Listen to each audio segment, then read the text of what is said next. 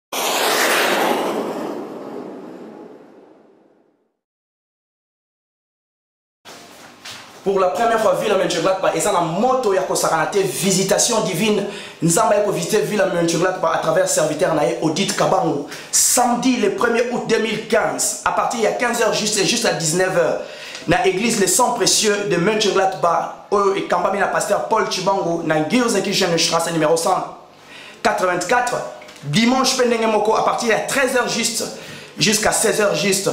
euh, esika wapi tozali na journée mibale ya louange et adoration tobengi bandeko nyonso baya baya ebele mpo baya kosangana elongo na mosali na nzambe tokumisa nzambe nkombo na nzambe ezwa lokumu merci beaucoup bandeko shalom pepe de die bana na nzambe libota na nkolo bana na nzambe boya le premier le deux frère odika bangu tozali ana moshingilani pele c'est la toute première fois bana na nkolo boya tokumisa nzambe toeleve nkolo oyo azali likolo na nyonso tokumisa nzambe oyo azali bolingo kati na biso célébrer les jours ya samedi na dimanche boya boya boya allemagne mobimba batata ya france belgique wapi boya tokumisa nkolo oyo abongela lokumu yango nabengi bino boya tosanzola le roi de roi le 2 août eza événement monene na kati ya mashakaka précisément na l'église ya le sang précieux don frère odi kabangu oyo obeta awa nalimo boyebi kaka boya bomona makambo minene bao babalaka te bakobala bao babotaka te bakobota mpo na adoration mpe na louange na ye donk eh, tala kaka soki ya pembe ekobima te na moto na ye mpo aza nzambe yango wana bye Hmm, le premier na le 2 août boya awa na moshingilaba donc tobengi serviteur de dieu akoya mpo na koadore mpo na kokumisa nzambe boya ebele mpo tokumisa nzambe mpo te nzambe afandi kati na adoration mpe na louange ezala esengo soki bandeko ebele ya nzinganzinga sn eh, aren dortmund meme borum boya ebele mpo tokumisa nzambe mpo te nzambe azali kaka nzambe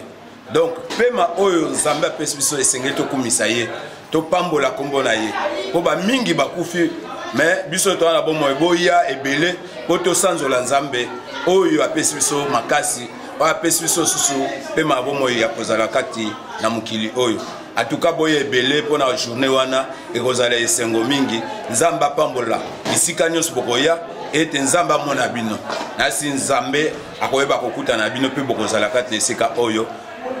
nzambe apambola bino nyonso tu biso bamama le sang précieux tozobengisa bandeko nyonso ya nord westfalen tozali na invitation monene awa kodika bango akouta londre elongo na libota na ye mobimba akoya kobeta mondule ya somo awa mm. mpona kumisa nzambe na biso eh. na yango wana tozali kosenga na bino nyonso bozanga te ekozala malamu mingi babivomi tokende mpe tozali kokumisa nzambe mpo tozali na babenediktio oyo ezali ya uda sente tokozwa eloko ya kitoko ke kokende mpe moko ekomemela biso litomba te eh. yango wana tobengisi bino susu ya mingi bozanga te boya ekozala esengo ya mingi tozali koyamba bino na maboko na biso polele na esengo nyonso boya ebele ya ebele ekozala malamu mingi donc date ezali le premier na le 2 août oui, mais dans le seigneur topesi bino nyonso mbote na nkombo na yesu kristo epuis awa tozali na église le sang précieux de Jésus-Christ na Villa Mönchengladbach na mboka Allemagne epai wapi tozali na deux journée moko spéciale le 1er août na le 2 août tokozala na journée ba mibale ya adoration na louange na présence ya Nzambe na ndeko na biso Odite Kabangu tobengi bandeko nyonso ya nzinganzinga bandeko ya Krefeld bandeko ya Düsseldorf bandeko ya Arène na ba ville nyonso voisinante oyo eza nzinganzinga na biso en tout cas boya tokumisa Nzambe elongo il siège au milieu de la louange d'adoration de son peuple soki tosangani tokutanisi nzambe je pense bien ekozala eloko moko ya malamu yo moto obungisi elikya yo moto peut oza na problème moko songola to pakala ezotungisa yo peut-être oluki basolution ebele ozwi te toconjure bino nzambe na biso essaye notre jésus christ de nazareth ya kopesa mikumba na yo en tout cas akopesa yo kimia oyo mokili ekopesa yo te ni biloko ya mokili yango à cette occasion toinvite bino en tout cas boye ebele tokumisa nzambe Tozalingami na Nkolo Shalom. Napesi bino mbote na nkombo na Yesu oyo aza likolo na nyonso. Nazali kopesa bino sango malamu oyo ekoleka kati na ville oyo ya Mönchengladbach. Yango nazali kobenga bato ya Allemagne mobimba, eza na Belgique, eza na France. Boya koparticiper na jour ya louange le 1er na le 2 août. Ekozala esengo mingi, boya tosangana elongo tokumisa Nzambe. mpo ete ye nde abongi na lokumu yango nabengi bino bandeko soki ozwi message oyo koandirsir motema na yo te fongola motema na yo peut-être à travers baloyembo ya adoration oyo louange oyo nzambe akoki kopambola yo akoki mpe kokangola yo na bachaîne oyo okangama nango yango bandeko botelema toya tokumisa nkolo na nkombo na yesu masiya amen bien aimé dans le seigneur topesi bino bote na nkombo na yesu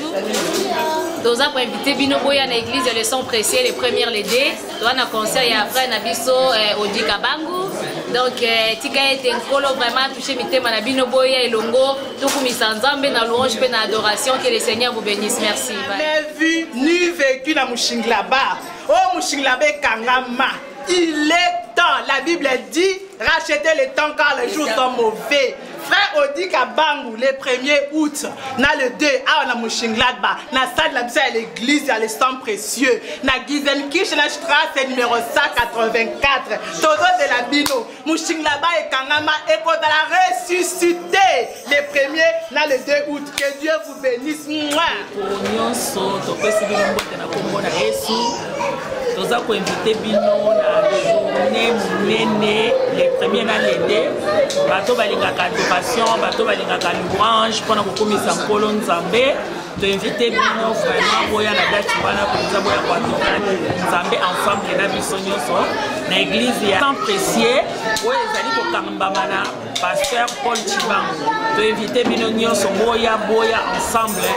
biso nyonso toadore nzambe elongo ekosala biso bien tokumisa nzambe na biso en tout cas parce que na nzambe makambo ya malamu ezalaka donc bango nyonso balingaka nzambe baya toadore ensemble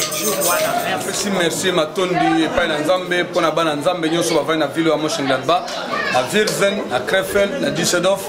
awa na allemagne soki oza nzinganzinga na bamboka ya moshengladba tobengisi yo mokolo ya liboso mpe ya mibale ya sanza oyo eza koya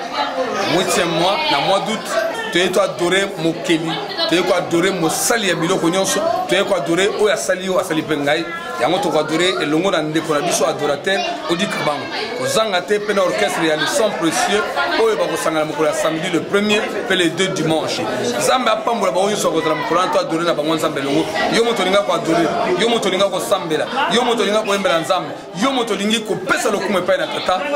occasion epesameli yo le premier na le deux mikolo mibale kaka ya pamba ya kokumisa nzambe tozozela yo tozotala ngai nzambe apambola